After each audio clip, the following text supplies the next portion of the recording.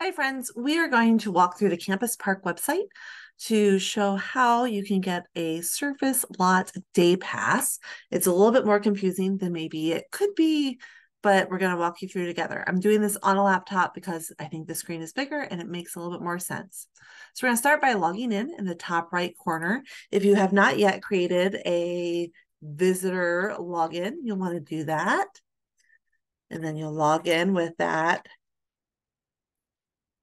um, password that you created for your visitor login.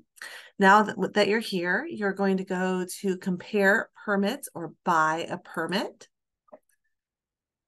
And this is where it gets a little confusing. There is not an option here just for the surface lot day pass. So we are going to pretend, as you should pretend, that you are riding a motorcycle to campus doesn't actually commit you to riding a motorcycle to campus, um, but it gets you to where we need it to be.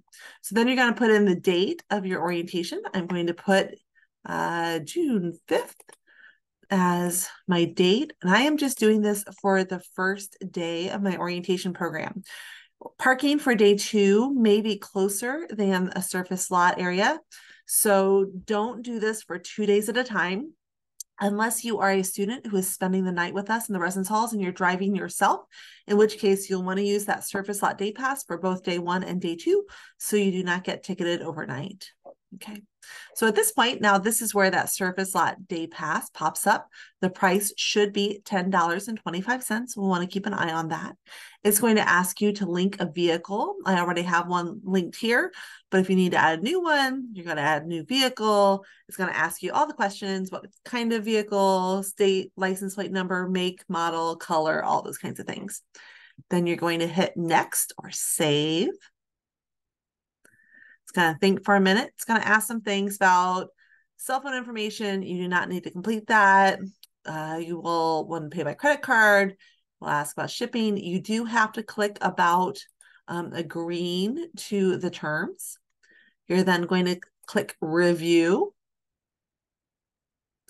It's going to show all the information and we're just confirming again that it's $10.25.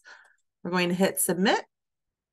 And now it's going to bring us up to the payment information. Again, confirming that's $10.25 per day. You can go through and complete adding in all of your information and then click pay now.